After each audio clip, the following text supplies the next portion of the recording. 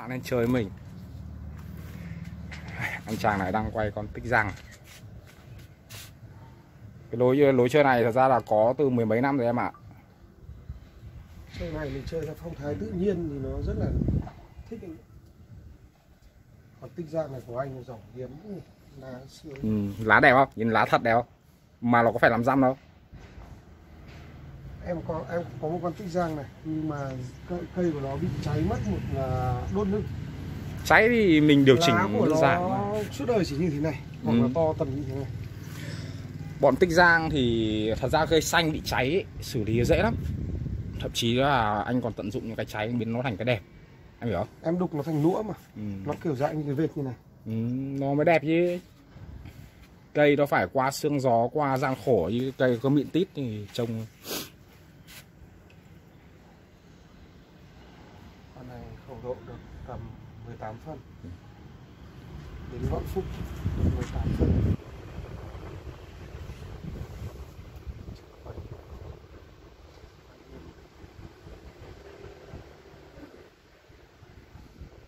Đúng con lạng không? Mỗi anh em chơi chỉ cần hai ba cút thì này không cần nhiều. Thế mà anh tặng cho thằng em anh một con tích giang còn đẹp hơn con này đấy. Thật bây giờ em chơi cây chỉ mơ được một con tích giang như này thôi. Ôi anh ăn rùa anh mua được thì chứ anh có biết đâu mua về xong anh mới biết. Anh thì hay rùa lắm. Ơ, ăn- giả nó chùi hết anh nhỉ. Ờ.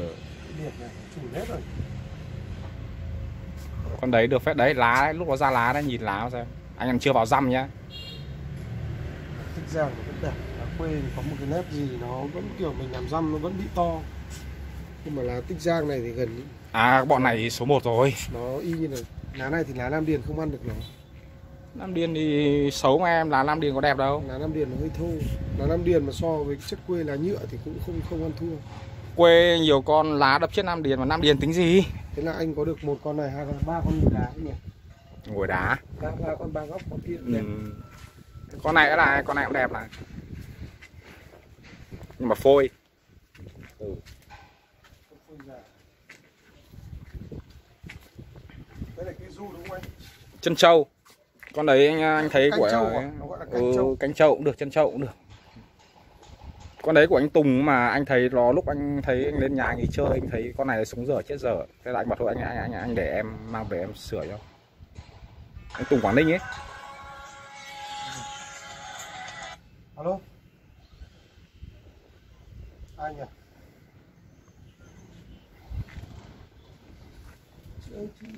giúp em về số tám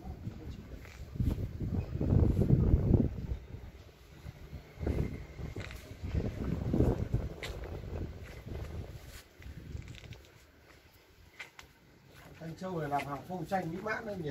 ừ, con đấy triệu quân tử đẹp lắm đấy Quân tử làm hàng phong tranh này nó Ừ. chả khác gì con này làm đúng dáng tùng. con đấy nó là dáng triệu quân tử mà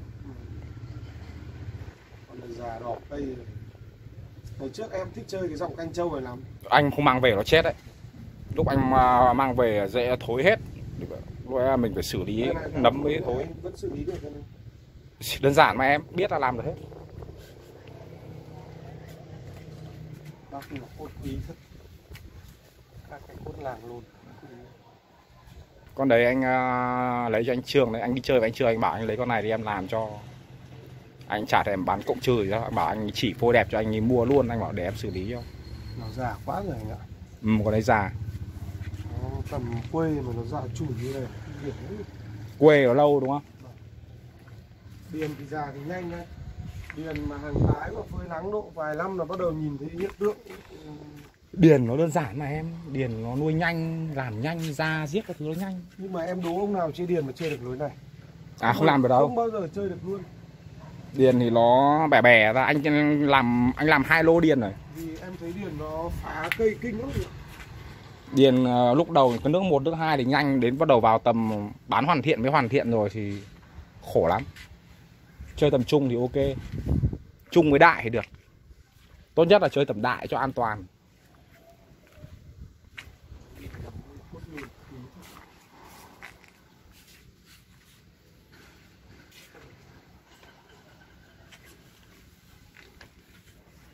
em thích nhất chơi khẩu độ này hồi trước có cậu đại hà đông lên cậu cứ nhìn con này cậu cậu cứ ngắm xung quanh ấy. Em con rất thích con chơi này. khẩu độ như này. À, anh Hưng ờ, ở bên này có một cái con cũng khẩu độ tầm tầm như như cốt không thể lại được con này hưng á? Vâng. hưng nguyễn hưng ở võ thị sáu á? Đúng rồi đúng rồi. À hưng thì nó thằng em anh.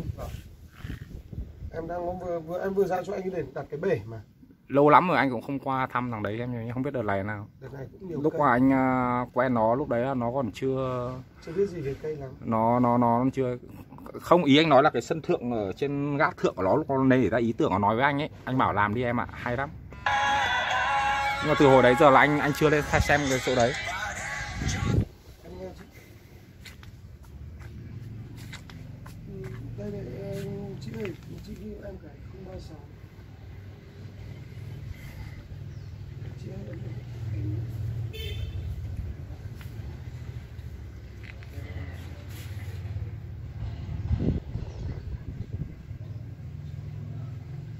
em tên là gì? Đây là Hưng Hưng à?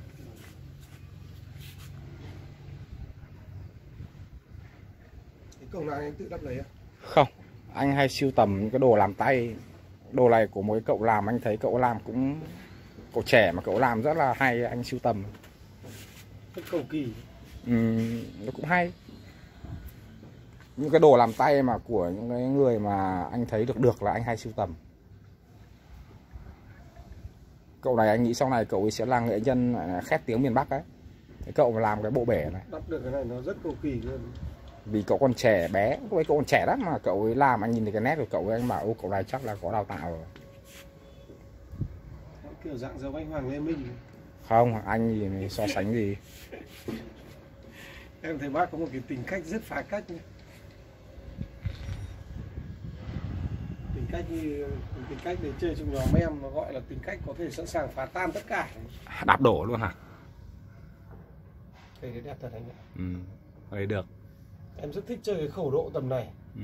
vì khẩu độ tầm này mà cô lại xong đưa vào cái chậu mỏng lên một tí. Mình đi sách đi đâu chơi nó cũng vừa tầm nó không quá bé và nó cũng không quá to. Đặc đặc tính của em chơi từ xưa nay chỉ thích mỗi chơi cốt lạc chơi cái bọn này này nó liên tục nó biến chuyển. Nó không bao giờ bị chán nó không đứng bóng mà càng chơi giá trị nó càng lên em hiểu không? Vâng. thành ra là là là em thấy như cái này mà anh đem Ok. triển lãm kinh không phải rồi. Nó giả chẳng chùn hết cả. Cái đấy năm sau là khiếp đấy. Năm sau là bắt đầu màu da với bộ răm của nó sẽ ok hơn. Mấy lần trước anh cho đi là nó còn hơi sớm ấy. Cho đi thử mà. Anh Minh ờ, sân này phải gây dựng lâu lắm lắm rồi nhỉ? Mới được như này. Anh chơi được chục năm chục năm nhưng mà cái cái thời gian anh đầu tư vào những cái lô này. Hưng, ờ, Hưng có một cái si tay chuột cũng khá đẹp. Lâu lắm anh không gặp nó. Em vừa vào đấy là để đặt anh cái bể em định đặt cái 35 nhưng mà vào lại để hơi bé. Nhưng mà học anh từng tí một. nhưng mà em thấy khôi là vừa rồi cái thời mà cây đang bị trứng là khôi cũng mua được tương tương đối phôi. Nhà anh kim bùi không? Em ra nhà anh cũng nhiều cây không kim bùi làm cây nghề cũng đẹp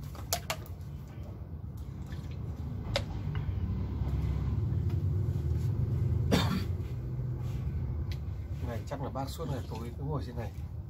Không anh nhiều việc lắm. Anh lúc đấy anh trước trước anh học trường ờ, nghệ thuật giả mà anh vẽ đẹp. À vẽ là từ bé trò chơi từ bé. Thế thì anh lại giống cái thằng năng học cùng em. Cảm Vẽ giác đi như là là- chỉ cần tưởng tượng ra cái gì nó vẽ được cái đấy. Bé thì là là, là ông bà già bận rộn cái thứ hay đi thì mình cứ ở nhà mình thì mình hay vẽ. Thành ra thì quen. Nhưng mà sau về sau lên đại học cũng có thi vào kiến trúc. Sử kiến trúc của khoa luôn vì hồi đấy là vẽ nhân đôi thì mà toán lý học dốt toàn bỏ. Lấy mẹ trúc nhưng, nhưng anh có công nhận với em là anh vẽ những cái, cái, cái nhân vật nào mà cá tính thì anh vẽ rất đẹp nhưng mà nhân vật hiền lành thì vẽ không được. Ừ. thì mẹ hiền lành vẽ nó cái đeo nào. Anh vẽ nó vẫn bị người ta thành ngố ờ. Nó đi theo tính cách con người ấy. Tính cách anh nó trực tính là anh vẽ nó trực nó kiểu dạng như là trương phi hay quan văn trường rất đẹp. Ừ. em thấy vẽ những trường hợp đấy rất đẹp. Ừ. thật lòng với anh không phải trêu anh đâu nhưng mà đầu tiên lúc em nhìn những cái bức tranh của anh em nghĩ là anh sưu tầm tranh Trung Quốc. Ừ. thật lòng luôn. Là vì tất cả những cái tranh anh vẽ à, đều chờ đấy anh lấy tranh cho xem. Vâng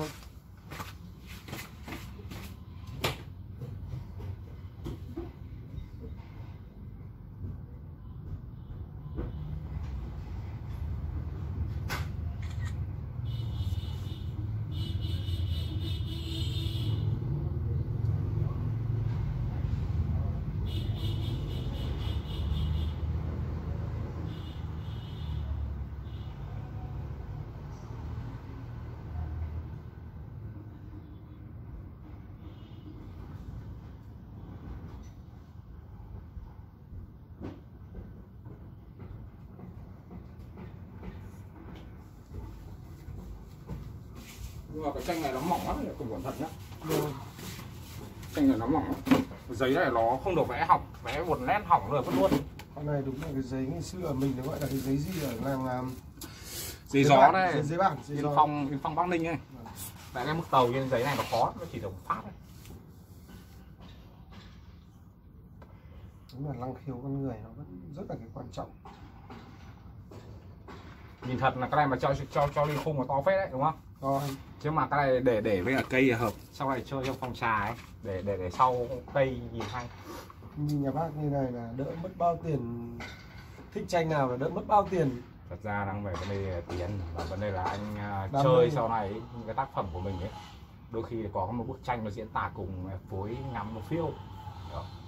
Là có vẽ dần tích lũy thôi. Anh cũng là người quá đam mê về cái, cái, cái hội họa này. Đam mê cái gì thì phải chẳng qua đợt này covid đói thì phải vẽ tranh thì đam mê khỉ không đam mê làm sao mà đi sâu được vào cái này là chỉ trò chơi của anh thôi. Đam mê thì chưa.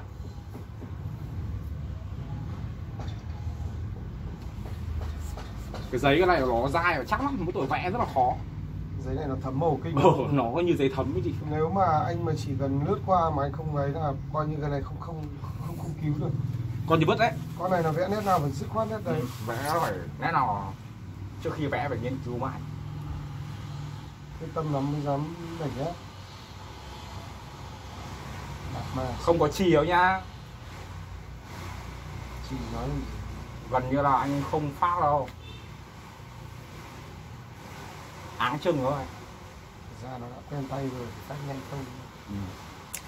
Phát chì vào là là cái này là cái này mà tẩy là vứt đúng không? Phát chì vào phát chì vào vẽ đèn chì nhưng mà đèn chì thì là cái mực nó không ăn. cái giấy này của anh tuy nó rất mỏng nhưng mà giấy này cực kỳ bền mà. Giấy giấy gió bắc ninh đấy làng nghề bắc ninh ấy. Đấy cái để đây nó không tiện bay. Về hôm nào đi hồ đi hồ tranh á.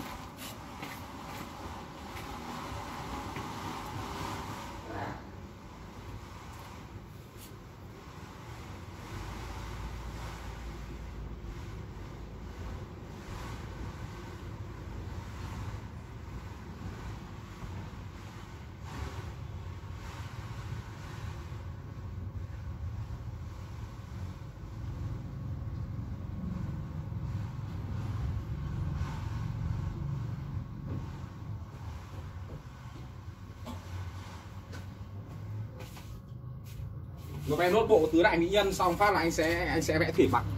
Vẽ thủy mặc treo ờ, cả kết hợp với dáng làng này hợp đúng không? Mặc em thấy vẽ nó có cái rất là hay cái thủy mặc đấy vẽ thử đã xem nào. Nếu mà ví dụ như là sau này mà ví dụ có con làng kia đi chơi mà có một cái bức tranh để phía sau đúng không?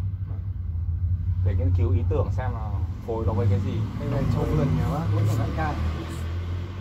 Nó là phải đại ca. Thứ nhất nó khẩu độ đúng bằng cây bonsai quốc tế đúng khẩu độ quốc tế cây này cao tầm khoảng 50 phân 50 đến 55 phân từ chân bệ lên. Con này anh làm được bao năm rồi? 7 năm. 75 có cái hình ảnh từ phôi đấy có cái 75 mà mới hình thành được các cái lô cắt giật như này mới là kinh điển ừ 7 năm chưa hoàn thiện đấy. Hoàn toàn là gần như là không dùng dây. Có chứ. Gần như là không dùng dây dây của anh đây chỉ là dây định hình. Ừ. cái dây định hình khác mà dùng dây thép để biến nó thành nhanh sủi nó lại một vấn đề khác. À cái đấy cái trò trẻ con thì mình mình mình, nói xem gì. Với cái trò uốn dây để mà vẽ thì thôi cái đấy nó cái đấy từ ngày xưa tụi anh đã vứt đi rồi. Còn thụ làng này phê phê không phê thì chẳng dám phê đâu anh ạ. Say ra là mệt lắm. Thật ra nghệ thuật là thưởng thức mà em đâu nhất thiết thì nhà em chơi chỉ đa số đặc dáng này. Sao là cái dáng làng mà ai thích chơi? Trên cái dáng làng nó có đủ trực siêu anh huyền. Và đặc biệt là thật ra mà nói có thể là rất nhiều người, ví dụ những ông chơi tùng hay chơi xanh, rất nhiều người chơi xanh, nhưng mà có rất nhiều lý do để chơi một cây xanh. Thứ nhất, nó là bản sắc văn hóa của người việt. Mình là mình là đồng bằng bắc bộ, cái cây xanh nó là cái dòng phù hợp với xứ khí hiệu nhiệt đới, đúng không? Thứ nhất, nó là một cái chủng loại giống như mình, bọn nước ngoài toàn thông tùng thì mình là dòng lá bản, trong đó xanh là một loại chiếm với khẩu độ rất là lớn. Cái thứ hai nữa là đặc trưng của cây dáng làng vùng quê.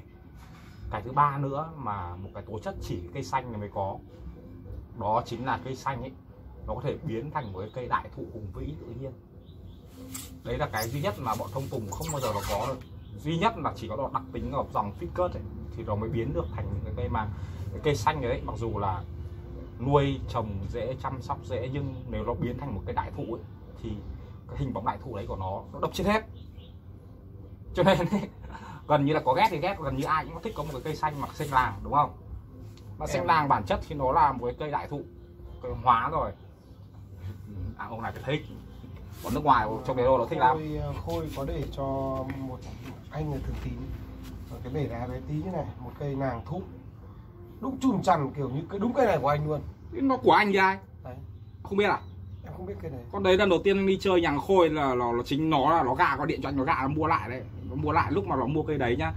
Cả các bọn ở dưới đấy nó chê bảo này ngu. Thế mà một tháng sau nó sút luôn đấy. Nó bán ra thường tín này. Con đấy giờ lên tiền cao lắm. Ừ, con đấy là từ anh ra anh còn có cái ảnh demo của nó từ phôi như nào mà từ gốc nó như nào. Thế bé tí nhìn- này. thì em nhìn con đấy với con này con đấy nó còn bé hơn con này một tí thì em nhìn em bảo hai con sao có cái nét tương đồng giống nhau. đúng rồi. Lúc mà thằng khôi nó mua vào đấy thì cả cái lũ đi ở trong đấy nó cho chửi thằng khôi rồi mày ngu. Chung là nó ăn nhau cái tư duy em hiểu không? Tầm nhìn tư duy mỗi người một tư duy một kiểu chơi cây thì không ông nào giống ông nào. Anh đang nói là góc độ là bọn buôn ấy. À. Bọn buôn chửi nó là ngu ấy mà mua cái này lỗ ấy. Thế mà một tháng sau nó sút luôn ấy. sau đó là những con sau anh bán ra ngoài giá anh em mua về toàn nhân. Toàn nhân này, đấy. con này của anh Minh bây giờ nhiều tiền nhỉ? Anh cũng chưa có ý định cứ để chơi.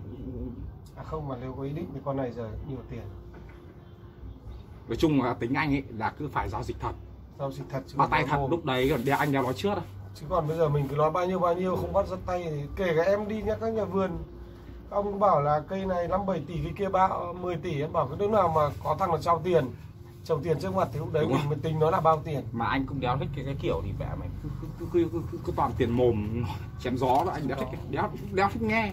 Tóm lại là bao nhiêu tiền? Cộp ra đây xong xuôi lúc đấy hãng nói. Còn nói trước làm gì đi làm gì không bạt làm cái gì cho mệt. Mình sống thực tế. Còn ông nào mua cây nào bao nhiêu tiền thì kệ mẹ ông ý mình quan tâm. Đéo này hóng làm gì một cái chuyện vớ vẩn. Trong nhà bác ngoài các đại ca em thì vứt cái này tích ra ừ. cái tích ra nó một khẩu độ mà nó nó được cái là nó thụ làng mà gần như hiếm có cây được như nó. Con khó nhỉ? quá quá con đấy anh kể cho em nghe nhá. Con đấy khi anh gặp ở nhà thằng cường duy ở trong trong thạch thất ấy thì khi anh gặp cái con này lúc đấy nó để trồng trông nó dễ nó cuộn nó trồng chậu trồng chậu mà cái lối làm cứ bỏ hoang chậu trồng chậu. Thì anh cũng đeo nghĩ nó thích ra anh chỉ thấy cái con này bé bé mà sao lá nó đẹp thế nhỉ? Mà lúc đấy nó, nó có để hoang ấy nhưng mà lá nó có đẹp. Thế là anh mới tôi anh xem. Thì nó chậu trồng chậu mà cành nó nhiều ấy thì bố ai biết bên trong nó như thế nào? Thế mà họ có đấy thôi là giá nó thẳng phết. Thế là thôi bỏ qua đặt thì áo mua món khác. Thế mà vô tình lần thứ hai anh quay lại cũng lại như con này. Rồi mua liều. Mua liều này năm củ. Bây giờ về phá ra. Bây giờ thì lắc lắc lắc. Nhưng mà lá nó đẹp anh mua là vì cái lá nó đẹp đấy chính không bao giờ bản thân em không hề biết dòng tích giang là dòng gì. Ừ. em mua của ông à, tị. Tị à, không phải tị mà ông đấy là ông Tị An Khánh á? không không phải tị mà ông đấy ông là gì nhỉ? Ông tên là ông tị ông tị thì không chơi được ông à, trời đeo cái ông tị. ông gì cơ? Hay chơi thân với ông nhạn. Em lại chơi cây em biết cả mấy cái ông đấy à? Em thực ra là mấy anh là ngày trước nói về đam mê thì không ai giống em ừ. có thể chỉ đi học cứ đi học lớp 12 về Ừ. làm bắt trước bắt sau bảo bố mẹ là con đi học thêm nhưng mà thật ra lấy xe máy phi sang hưng yên cái thời cây còn trồng ở anh nói cho em nghe riêng ông tị anh nói chuyện nhá là anh trương ấy là cứ đúng một tuần hai lần phi ô tô mang cây vào nhà ông tị để nhờ ông cắt cắt cho 3 năm cùng mang lên gặp anh anh sửa cho lại hết đi là có cây chơi đấy thật ra là ông, ông Tị. thì, tị thì chỉ làm đối cây của chợ thôi anh ạ ừ. Dương ngồi nói chuyện bảo ai cắt cho anh ấy. thằng tị này tuần đéo là tao phải phi ô tô vào chở cây vào cho nó cắt. À, cái ờ, cái cây mà em mua của ông đấy là thật ra bản thân em thích cái đường cháy với đường chạy của nó. Bản thân là không biết là tích giang. Nhưng mãi về sau đến lúc nên anh em phân tích mình tích giang về mình thấy là đây đúng rồi. Vì em bảo không hiểu tại sao cái dòng này em cho ăn tốt như thế nhưng mà la nó cứ lấy ra đi gì nhìn là rau răm. Mà răm nó dày kinh khủng luôn em nói nuôi mãi chả được một một một cái à mà lại nó chậm mẹ. Nuôi mãi chả được một một cái tay một cái, cái chi. nuôi một cái chi từ một cái mầm mà lên một cái cái, cái cành bé bé kia mẹ nó chua lắm. Ui nó phải một năm. Em thấy với anh hôm đầu tiên xót ruột định cho thằng em vợ bảo đấy cậu thích cậu cầm về cậu chơi. Nhưng về sau biết nó tích giang thôi bảo thôi lại mà lại. nếu như mà khi mà mình đã nuôi to rồi mình cắt ấy thì nó rất là đanh. Dạ. nó rất là đanh tức là nó trứng mẹ lại luôn. Xong đâu là cho mình chơi dòng tích giang ấy, nếu mà mua cốt về mà không có cút kiếp mà không có thân chủ rõ ràng sẽ dễ học cây lắm. Ừ. vì anh bảo nuôi bao giờ cho được một cái cút có mấy ông ông đưa cho anh xem mấy cây to tướng tổ bố ông bảo tích giang mà đi tích giang này thì chắc trăm năm mất đi nếu mà theo cái độ phát triển này. Thế đâu là- ra? thật ra là mới tích giang một cây nhìn này xác định là không thể tìm được rồi. Ừ. nói thẳng luôn thế luôn mà nếu đây mà là cây tích giang thì đúng là nó vào thuộc vào trường tồn quá hiếm. Anh không phải anh à, gặp một con tích giang 30 năm thì anh để cho thằng đệ của anh tức là nó, nó mới được có thế này. Gốc thân nó có được thế này. Thì lấy đéo đâu ra cái loại mẹ như thế này. Lấy đâu à? Còn chả biết ông trồng ở đất hay không thì chẳng rõ. Không đấy là ở trong đất đấy. Chứ còn hôm anh anh sau đó anh mới phi ngược về mục tích ra anh xem các bố ở đây toàn là cành cuộn thôi thì vì người ta không người ta đấy là người ta thương mại mà người ta đi theo con nam điền cái dòng xanh đấy là nó quá quá lâu lớn để làm thành một cây. Thứ hai là bây giờ em thấy cái dân xu thế cây bây giờ cái gì điển. Đi đâu có điển quê các ông bỏ? Em bảo mẹ bây giờ các ông bỏ quê đẹp bao nhiêu tôi mua hết. Ừ thì địa quê đẹp là anh bê hết mà. Còn à, điền đắt thì phôi anh thật với em bây giờ nó là cái phôi. Bây giờ làm năm bảy năm chục năm thành cái cây một ông có chắc bán được không cứ đâm đầu vào mua phôi. Bây giờ mua phôi xu thế đang mua cái phôi ra chợ em nói anh chợ Vạn Phúc có những cái phôi đúng như một con cóc nó ngồi không có cái cảnh gì đúng một cái cục. Không chi không cảnh độc ngọn lên cao vút cũng mua chục triệu. Trong khi đó bọn quê thì nó rẻ mà lúc mà làm thành cây bán đắt phải đái như cây ông Tuấn Dung vừa rồi ấy bán anh nói em nghe giá em nghe giật mình ấy. Em nói thêm mà anh à, quê có những cây nha, 15 triệu thành phẩm rồi. Ừ. đi triển lãm rồi. Các bố cứ đâm vào đầu vào điền thật ra là bọn nó thổi thôi nó thổi của nó mẹ mày nó Hà Nội thì gần như là nó miễn nhiễm với cả sốt rồi. Các ông ở đâu các ông sốt thì cứ sốt thôi chứ Hà Nội là có giờ sốt nó kiểu dạng như à, mấy ông à, chơi lan bây giờ nó cứ đưa cái loại lan nào ra nó bảo đấy là va là các bố nghe nó là va. Lan thì chắc toang rồi. Em chưa biết toàn hay không mà vừa rồi mấy tối vừa rồi thì nó giao dịch kinh thật. Thế à? thằng cu chơi với em nó người mỹ đức. Nó vừa mới giao dịch ừ, hai hai thân man như này một cái nó gọi là hợ à, bạch tuyết mới cả một cây nó gọi, gọi là hồng gì nó giao dịch hai cây 4 tỷ tám anh ạ. À? Thôi, thôi. Thôi đừng nói chuyện Lan đấy nhá, thì phải anh nghe nó ảo lắm. Anh Choáng. anh đang ngồi ở sân thượng anh bay mẹ lên trên mây mất choáng choáng choáng. Em giật mình. Em nghe em cũng hoảng chơi thì nó chỉ cần đơn giản thôi. Cần gì đâu phải hầm hố hay là đọ tiền đâu. Chơi nghệ thuật mà em nó đâu có phải là cứ phải là tiền nhiều thì là có nghệ thuật đâu. Sẽ nhìn chụp nó lên nhà anh nhỉ? Hả? Nhìn chụp nó lên. Ừ.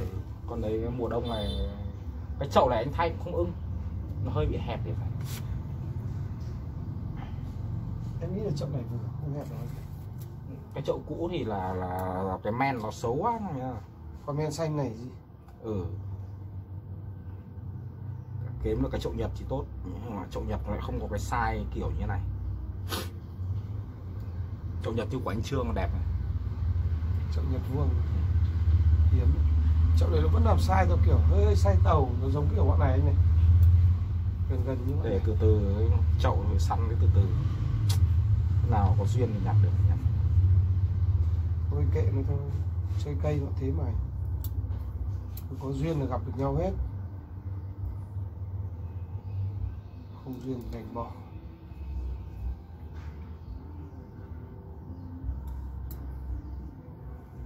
đây những con quê này mà hôm bọn em sang bên um, Giang giao dịch nhưng sang tận nơi thì Điền à? hay quê? Quê.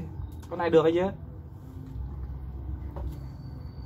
không định đấy anh ạ. Ừ. nhưng mà tất cả tay cút của nó nó làm bị lỗi hết. À ừ thì đường nét thì phải đòi 26 triệu. Thì được hay thì bọn em giả xuống 20 triệu không giao dịch được bọn em bỏ. Con đấy nếu mà chỉnh sửa biết cách làm ok đấy này, với được con này thì cũng sau này cũng giống nước anh này. Ừ. với được con này là sau này cũng có tí thụ thụ giống con ừ, kia. con này cũng được. Em thì chỉ thích chơi dòng thụ thế chơi sướng. Biết làm mà được hết mà em. Anh cảnh cụ anh còn làm được. Ơi, cốt. Đây hôm hẹn anh à, Kim Bùi ra để giao dịch cây này. Nhưng mà vì sao mua được con này nó tính lại? Thì ừ. con này là cây già. Quê đấy anh. Ừ. chung chơi cái dòng nó cứ sân siêu như này dễ bề nhá Ừ. chứ còn mình thương mại thì các bố cái tính cây tiền tỷ tỷ nọ thì kia đau đầu lắm